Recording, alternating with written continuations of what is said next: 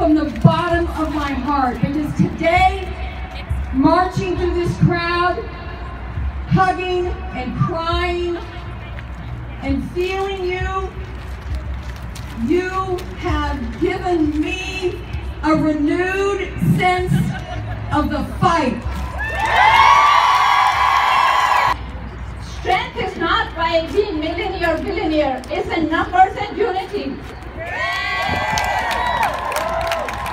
So we are here to show the resolve that we cherish our rights and we will protect it.